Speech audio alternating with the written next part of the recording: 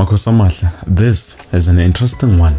I know I'm probably late on this video, but I had to upload this one. So, Junior Khanye believes ukuthi Coach Arthur Zwane was better than head coach Molefi And when we take a look, uh, uNtseki has like three or four matches.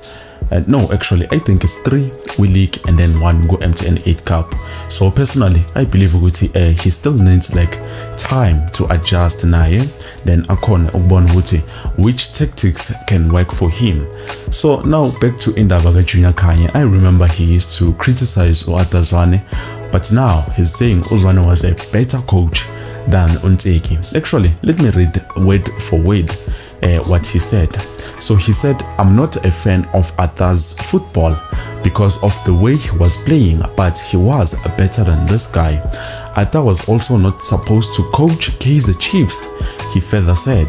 I don't even think Kaizer Chiefs will make the top 8 if they continue with this coach because more games they lose, the confidence of the players will go down. Khanye. So guys, do you agree with this guy? If so, please do let me know down in the comment section below. Ukuthi vele vele vele eh uNtseki eh coach Arthur Zwane na.